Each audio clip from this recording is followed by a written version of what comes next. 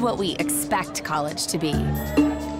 It was just a welcoming atmosphere. If you walk down the street, you'd be invited into almost any house.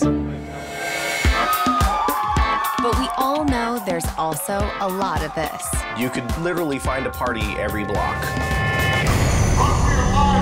And other things happen that you'd never imagine.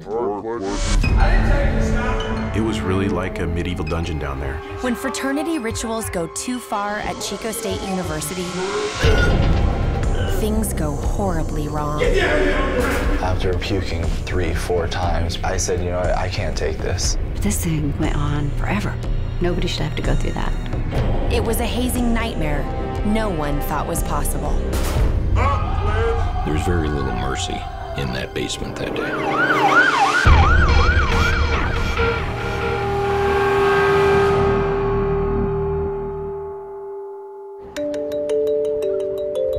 We go to college to prepare for the future. But the truth is, it sometimes ends up being a four year escape. We live in our college bubble where we finally have the freedom to do what we want when we want. But when you mix 15,000 students and a lot of parties at a college smack in the middle of nowhere, the ivory tower can crumble.